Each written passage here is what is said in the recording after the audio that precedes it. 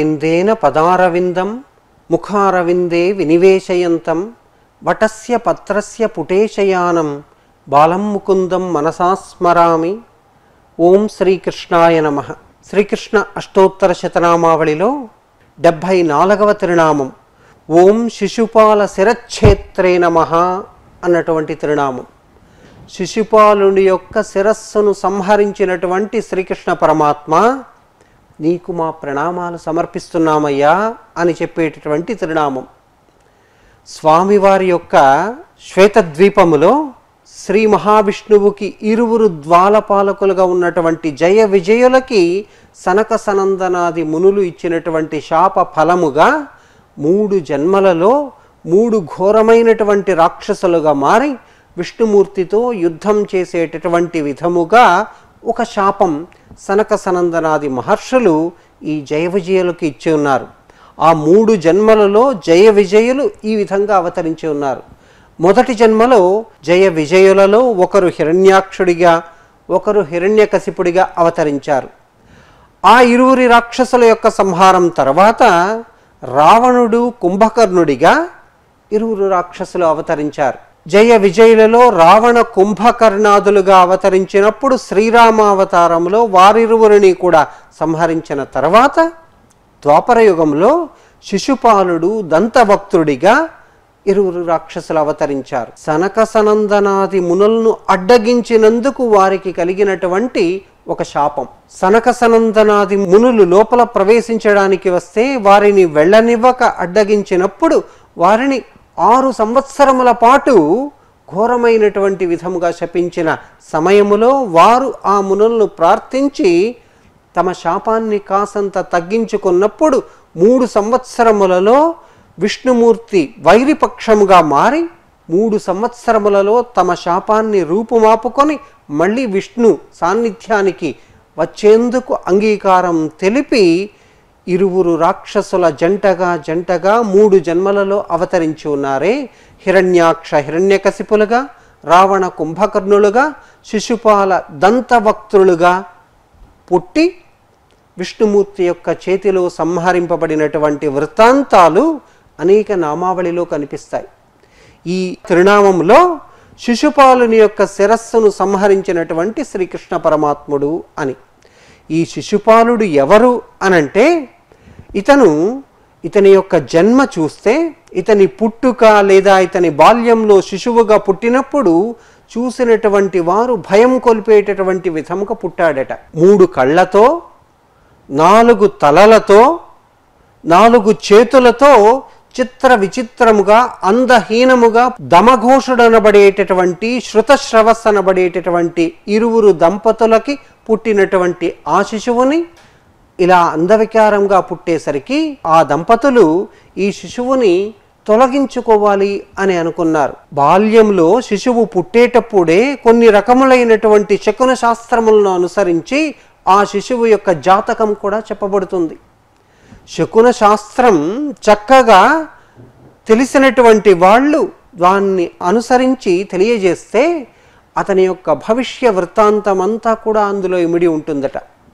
ఈ బాబు పుట్టినప్పుడు ఆ బాబు నోటి నుంచి వెలువడేటటువంటి శబ్దం ఒక గాడిద ఓండ్రించినటువంటి శబ్దం వస్తూ ఉండిందట.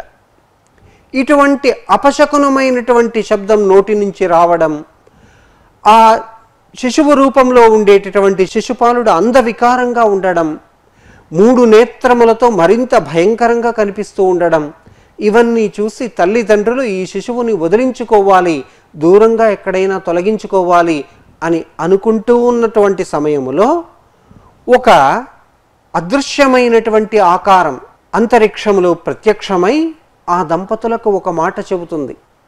ఈ పుట్టినటువంటి బాలుడు చాలా బలపరాక్రమశాలి మారుతాడు. ఏ ఒక్కరూ కూడా ఇతన్ని సంహరించడానికి వీలు లేనంత ఒక శక్తి యుక్తులని ఈ బాలుడు సంపాదించుకుంటాడు అని చెప్పి ఆ అదృశ్యమైనటువంటి భయంకర ఆకారం చెబుతుందట. ఇంకా మీరు భయపడుతున్నారే ఈ మూడు కళ్ళని నాలుగు తలలని నాలుగు చేతులని చూసి ఇవి కూడా తొలగిపోయి సామాన్యమైన ఇతర బాలకుల వలె ఈ బాలుడు కూడా ఉంటాడు అని చెప్పి చెబుతారు. కాకుంటే ఒక చిన్న షరతును కూడా అక్కడ జోడిస్తారట. అనేక మంది వస్తూ ఉండేటప్పుడు ఎవరి యొక్క ఒళ్ళో పడుకోబెట్టినప్పుడు వాళ్ళు ఈ బాలుని స్పృశిస్తే ఎవరి యొక్క చేతి స్పర్శ ద్వారా ఈ బాలుడు సామాన్యమైన రెండు కళ్ళతో ఒక తలతో రెండు చేతులతో ఇతను ఉంటాడో ఆ ఒక్క వ్యక్తి ద్వారా మాత్రమే ఈ బాలుడికి సంహారం ఉంటుంది లేదా ఈ బాలుడికి మరణం ఉంటుంది. అంతేకాని ఇతరులు ఎవ్వరూ కూడా ఈ బాలుడిని సంహరించలేరు అని చెప్పి చెబుతారు. అలా అనేక మంది రాజులు ఈ విధంగా శిశువు పుట్టాడు అని చెప్పి తెలుసుకొని చూడడానికి కోసం చుట్టుపక్కల ఉన్నటువంటి రాజులందరూ కూడా ఈ శిశుపాలుడు బాల శిశుపాలుడు దగ్గరకు వచ్చి చూస్తూ ఉండేటప్పుడు తల్లిదండ్రులు వచ్చినటువంటి రాజుల యొక్క ఒళ్ళో అంతా కూడా ఈ శిశుపాలుడిని పడుకోబెట్టడం వాళ్ళ స్పర్శ ద్వారా ఈ బాలుడు మళ్ళీ సామాన్యమైనటువంటి బాలుడుగా మారుతాడేమో అని చెప్పి. ఇలా అనేక మంది అక్కడికి రావడం వాళ్ళ ఒళ్ళో పడుకోబెట్టడం ఈ బాలుణ్ణి ఇలా జరుగుతూ ఉన్నప్పుడు బలరామకృష్ణులు కూడా ఈ శిశుపాలుణ్ణి చూడడానికి వస్తారు. అప్పుడు కృష్ణుడి యొక్క ఒళ్ళో ఈ శిశుపాలుని అలా పడుకోబెడితే కృష్ణుడి యొక్క స్పర్శ చేత వెనువెంటనే ఆ బాలుడు సామాన్యమైన బాలుడిగా మారిపోయేసరికి తల్లిదండ్రులలో ఒకవైపు ఆనందము మరోవైపు బాధ దుఃఖం కూడా ముంచుకు వచ్చింది. కృష్ణ నువ్వా? ఈ బాలుడిని సంహరించబోయేటటువంటి వాడివి అని ఒకవైపు దుఃఖం. కృష్ణుడి యొక్క స్పర్శ చేత మన బాలుడు కూడా సామాన్యమైన బాలుడిలాగా మారిపోయాడే అన్నటువంటి ఆనందం. అలా శిశుపాలుడు కృష్ణ స్పర్శ చేత సామాన్య బాలుడిగా మారినప్పటి నుంచి కృష్ణుణ్ణి అనేక విధాలుగా తెగనాడుతూనే ఉన్నారు. తిట్టిపోస్తూనే ఉన్నారట. అవకాశం దొరికినప్పుడల్లా ఏదో ఒక మాట అనడం ఆ మాట ఇతరులని అన్నారు అని ఎవరైనా అనుకుంటారేమో అని చిట్ట చివరన కృష్ణ నిన్నే అన్నాను అని కృష్ణ పదాన్ని జోడించడం ఇలా సాగింది శిశుపాలుడు శ్రీకృష్ణుడికి సంబంధించినటువంటి దూషణ పురాణం అని చెప్పి చెప్పుకోవచ్చు. ప్రతి పదంలోనూ ప్రతి సందర్భంలోనూ శిశుపాలుడు శ్రీకృష్ణుణ్ణి అనేక విధాలుగా తెగనాడినట్లు ఉన్నది. ధర్మరాజు రాజసూయయాగాన్ని చేయ సంకల్పించినప్పుడు శ్రీకృష్ణునికి అగ్రపూజార్హతను ఇవ్వడం కూడా సహించలేనటువంటి శిశుపాలుడు నిండు సభలో శ్రీకృష్ణుణ్ణి అనేక మాటలు అన్న సందర్భం కూడా మనకు మహాభారతంలో కనిపిస్తుంది. ఇలా శ్రీకృష్ణుడు జరాసంధుడికి శిశుపాలుడు సహకరించినట్లు కూడా మహాభారతంలో కనిపిస్తుంది. ఇలా శిశుపాలుని యొక్క వృత్తాంతం తీసుకుంటే అనేక విధాలుగా అతను శ్రీకృష్ణుణ్ణి బాల్యము నుంచి కూడా అనేక దూషణలతోనే గడిపాడు అని చెప్పి తెలుస్తుంది.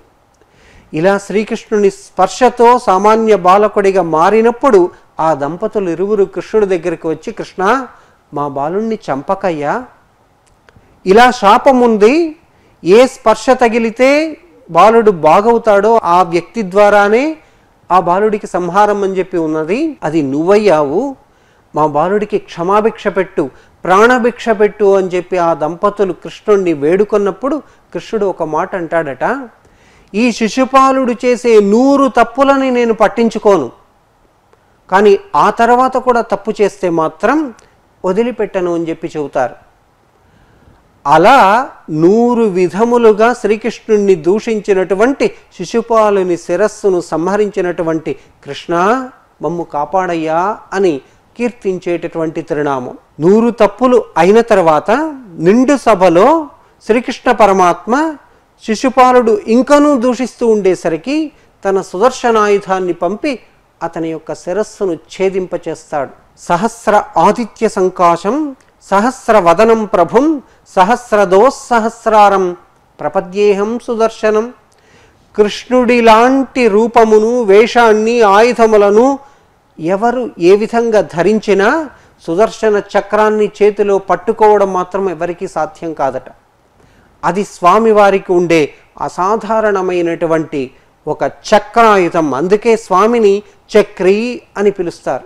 అటువంటి సుదర్శనాయుధంతో శిశుపాలుని యొక్క శిరస్సును సంహరించిన శిశుపాలునికి మోక్షమిచ్చారే. ఆ సందర్భాన్ని చూసి ఆశ్చర్యపడినటువంటి పాండవులు కృష్ణుణ్ణి అడిగినప్పుడు కృష్ణుడు చెప్పిన సమాధానం ఎవరు ఏ విధంగా ఏ పరిస్థితుల్లో నన్ను స్మరిస్తున్నారు అన్న అన్ని విషయములను పక్కన పెట్టి నూరారా నా నామం పలుకుతున్నారా లేదా అర్థం తెలిసి పలుకుతున్నారా అన్నటువంటి విషయాన్ని కూడా పట్టించుకోనటువంటి భగవంతుడు కృష్ణ రామ గోవింద ముకుంద కేశవ మురారి మధుసూదన ఎవరు ఏ భావనతో ఏ నామాన్ని నోరారా పలుకుతుంటారో వారినల్లా కూడా అనుగ్రహిస్తాను అని చెప్పి చెప్పడానికి ఒక గుర్తుగా శిశుపాలుని యొక్క శిరచ్ఛేద వృత్తాంతం మనకు కనిపిస్తుంది.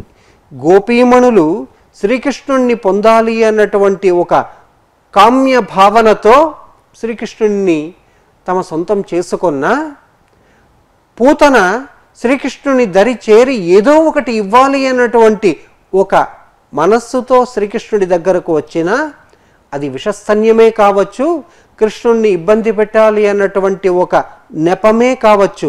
కానీ విషమన్నది లేదా తనను సంహరించడానికి వచ్చింది రెంటిని పక్కన పెట్టి ఏదో ఒకటి ఇవ్వడానికి వచ్చింది కదా అన్నటువంటిది మాత్రము స్వీకరించాడట. అలాగే శిశుపాలుడు ఏ విధంగా తనను స్మరిస్తున్నాడు? నోరారా స్మరిస్తున్నాడా లేదా అన్నటువంటిది మాత్రమే చూసి ద్వేషాత్ చైద్యాదయో ప్రభవ అని చెప్పి చెబుతారు. ద్వేషంతో స్మరిస్తున్నాడు అన్నటువంటి విషయాన్ని పక్కన పెట్టి నోరారా స్మరిస్తున్నాడు అన్న మాటను మాత్రమే గ్రహించి శిశుపాలుని కూడా అనుగ్రహించినటువంటి శ్రీకృష్ణ పరమాత్మ నీ దయాగుణాన్ని ఎంతని పొగడగలం ఏమని చెప్పేదని ప్రభావంబు అని అన్నమయ్య చెబుతారే ఆ సంకీర్తనను గుర్తుకు తెచ్చుకొని శిశుపాలుని శిరచ్ఛేద వృత్తాంతం ద్వారా శ్రీకృష్ణుని యొక్క దివ్య అసుర సంహారం ద్వారా సాధు సంరక్షణ కావించినటువంటి లీలను స్మరించుకుంటూ స్వామివారిని అనుగ్రహించమని ప్రార్థిద్దాం. అలాగే డెబ్భై ఐదవ తిరునామం ఓం దుర్యోధన కులాంతకాయ నమ అనబడేటటువంటి తిరునామం ధృతరాష్ట్రుడు గాంధారి.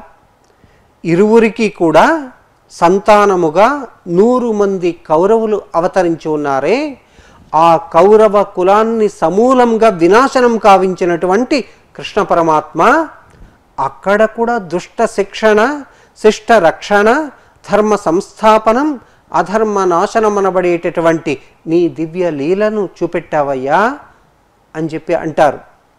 గాంధారి గర్భవతి అయింది. సామాన్యంగా ఎనిమిది నుంచి పది నెలలు లేదా మహా అయితే పన్నెండు నెలల లోపు ప్రసవించవలసినటువంటి సమయం అయితే రెండు సంవత్సరములు గడిచినా ప్రసవించకపోయేసరికి ప్రసవ వేదన పడుతున్నది. ఆ బాధను భరించలేక ఓర్వలేక ఉన్నటువంటి సమయములో గాంధారి ప్రసవించేటట్లు చేశారు. నిజానికి గాంధారి ఆ విధమైనటువంటి గర్భం దాల్చడానికి వ్యాస భగవానుడు ఇచ్చినటువంటి ఒక వరం కారణమట. వ్యాసుడు అంటారు గాంధారికి నూరుగురు పుత్రులని నువ్వు ప్రసవిస్తావని చెప్పి ఒక వరం ఇస్తారట. అలా నూరుగురు పుత్రులతో ఆనందంగా ఉండవచ్చు అని భావించినటువంటి గాంధారి గర్భమును దాల్చి రెండు సంవత్సరములైనా కూడా ప్రసవించక ఆ వేదన పడుతూ ఉన్నటువంటి సమయంలో మళ్ళీ ఈ విషయాన్ని తెలుసుకొని వ్యాసుడు అక్కడికి వచ్చి గాంధారి గర్భంలో ఉండేటటువంటి ఆ మాంస పిండమును వెలికి వచ్చేందుకు తన దివ్య శక్తి యుక్తులనన్నింటినీ కూడా ప్రదర్శించి బయటకు తీశారట. నూరుగురు పుత్రుల స్థానములో ఒక పెద్ద మాంసపు ముద్ద అలా బహిర్గతమైంది. వ్యాస భగవానుడు చూసి ఆ దంపతులు బాధపడుతూ ఉన్నటువంటి సమయంలో నూరు కుండలను సిద్ధం చేయమన్నారు. ఒక్కొక్క కుండ నిండా కూడా నెయ్యి పోయమన్నారు. ఈ మాంస ఖండాన్ని అలా భాగాలు చేస్తూ బొటనవ్రేలంత పరిమాణములో ఒక్కొక్క ఆ పిండాన్ని ఖండ ఖండాలుగా చేసి ఒక్కొక్క ఆ మట్టి పాత్రలను ఒక్కొక్క బటన్ వ్రేలంత పరిమాణంలో ఉండే ఆ మాంసఖండ భాగాన్ని అందులో వేస్తున్నారు. ఇలా వేసేసరికి నూరు కుండలు కూడా నిండింది కానీ మరో మాంసఖండం మిగిలిపోయి ఉన్నది. దాన్ని కూడా ప్రత్యేకంగా మరో కుండను తెప్పించి అంటే నూట ఒక్క కుండలైనదనమాట ఆ కుండలో వేస్తారు. అలా కొద్ది రోజులకి ఒక్కొక్క మట్టి కుండలో నుంచి ఒక్కొక్క బాలుడు ఆ మట్టి కుండను అలా పగిలేటట్లు చేసి అందులో నుంచి బాలుడు బయట వస్తున్నాడు. మొట్టమొదట దుర్యోధనుడు బయట వచ్చాడు. దుర్యోధనుడు బయట వచ్చేటటువంటి సమయంలో అనేకమైన అపశకునములు వినిపిస్తూ ఉన్నాయి కనిపిస్తూ ఉన్నాయి కూడా. ఏమిటి అపశకునములు? ఏవేవైతే దుశ్శకునములుగా పురాణములలోనూ ఇతిహాసములలోనూ కీర్తింపబడ్డాయో అవన్నీ కూడా గాడిద అరుపులతో అతను నోటి నుంచి ఏడుపు గాడిద అరుపులాగా వినిపిస్తున్నది. ఇలా గుడ్లగూప యొక్క దర్శనం కాకి అరుపులు ఇలా ఎన్నో రకాలైనటువంటి నక్కలు అలా అరవడం. ఇటువంటి ఆ దుశ్శకునములన్నీ కూడా అక్కడ కనిపిస్తూ ఉండేసరికి విదురుడు లాంటి వాళ్ళందరూ కూడా వచ్చి హితబోధ చేస్తారు ధృతరాష్ట్రుడికి. ఈ బాలుడు పోను పోను లోకకంటకుడుగా తయారవుతాడేమో బాల్యంలోనే వదిలించుకో ధృతరాష్ట్ర అని చెప్పి చెబుతారు. ఎంతున్నా తండ్రి వాత్సల్యం కదా ఇతరులు చెప్పినటువంటి మాట తలకెక్కలేదు. విదురుడు సామాన్యమైనటువంటి వారు కాదు. ధృతరాష్ట్రుడు పాండు మహారాజు విదురుడు ముగ్గురు ఒక్కసారిగా విద్యలను అభ్యసించినటువంటి వారు. కానీ ధృతరాష్ట్రుడు పాండు మహారాజు ఇరువురు కూడా యుద్ధానికి సంబంధించినటువంటి శస్త్ర విద్యలను అభ్యసిస్తే విదురుడు తనకు రాజ్యకాంక్ష లేదని వేద వేదాంత ఇతిహాస పురాణాదులన్నింటినీ కూడా నేర్చుకున్నారు. ముగ్గురికి గురువు భీష్మ పితామహుడే. అలా ముగ్గురు కూడా విద్యను అభ్యసించినప్పుడు వేద వేదాంత శాస్త్రాలు చదివినందువల్ల విదురుడికి హితబోధ చేయాలి అని అనిపించి ధృతరాష్ట్రుడి దగ్గరకు వచ్చి ఈ బాలుణ్ణి వదిలించుకోమని చెప్పి చెప్పినా పుత్రవాత్సల్యం వల్ల బాలుణ్ణి వదిలించుకోకపోగా ఏర్పడినటువంటి దుష్ట గణములలో అగ్రగణ్యుడిగా దుర్యోధనుడు చెప్పబడుతాడే. ఆ దుర్యోధనుడి యొక్క సంహారములో ప్రధాన భూమిక కృష్ణ పరమాత్మదే. ఆ దుర్యోధన కులమైనటువంటి లేదా కౌరవ కులాన్ని సమూలంగా నాశనము చేసినటువంటి ఆ కృష్ణ పరమాత్మ లీల ఈ సందర్భంగా గమనార్హం అని చెప్పి చెప్పుకోవచ్చు.